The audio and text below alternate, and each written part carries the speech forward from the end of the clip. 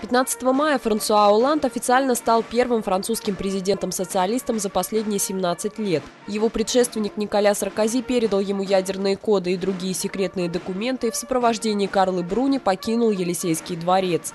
Во время церемонии инаугурации, перед тем, как Оланду вручили золотую нагрудную цепь Ордена Почетного Легиона, еще раз были зачитаны результаты президентских выборов. В своей речи Оланд пообещал, что будет добиваться изменения бюджетного договора ЕС.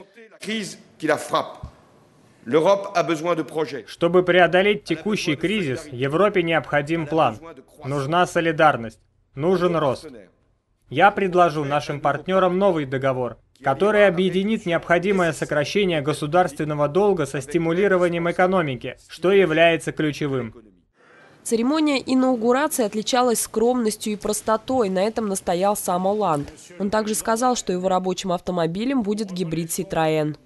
Сразу после официального вступления в должность седьмого президента Пятой Республики Оланд отправился в Берлин на переговоры с Ангелой Меркель.